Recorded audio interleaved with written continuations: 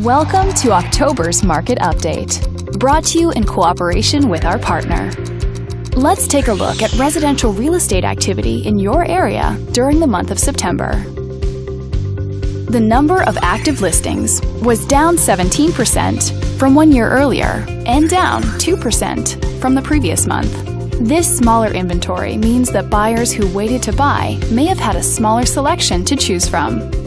As you can see, the median listing price for the month was just under $580,000. Compared to last year, the average number of days that units spent on the market before being sold was up 20%. This higher number of days may signal a slowdown in the local inventory turnover rate. The median sale price was $440,000. The number of units sold increased 8% year over year and decreased 10% month over month.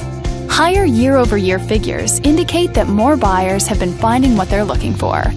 Thanks for watching. We hope you use this information to make smart, informed decisions in your upcoming real estate transactions. Feel free to contact us for more information or further assistance.